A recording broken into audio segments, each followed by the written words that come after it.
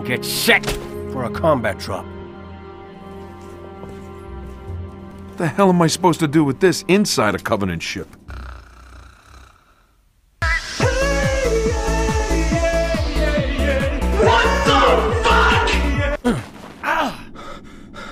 Wake up, Buttercup.